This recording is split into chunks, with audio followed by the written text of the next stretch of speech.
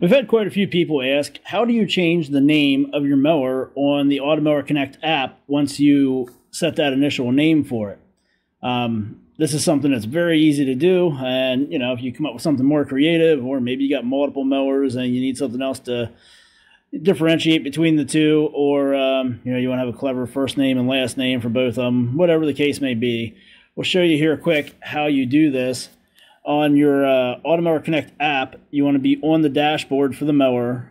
Then you're going to tap on the three line icon to go into your options there.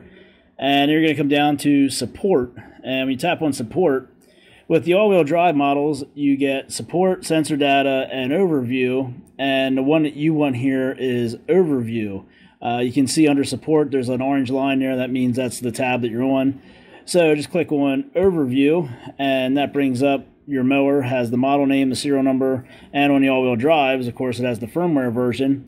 But to change the name, you just click on the uh, or tap the the uh, spot there where it says edit in orange, and then you can go in here and you can change it to whatever you want. So we'll just add one, two, three, four to the end of this name just to show you how it happens. And then you're going to tap on done and at the bottom you get the little notification there saying the name was changed. And it works that way for all the mowers with Automower Connect. Uh, just go in there, tap on the three line icon, go down to support, and um, once you are in the support menu, over to overview, edit, and type in whatever you want to type in. That's it.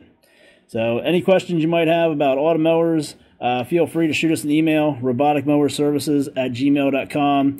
If you're looking for parts, same email address, roboticmowerservices at gmail.com. Send us some information about your mower and what parts it is you're looking for.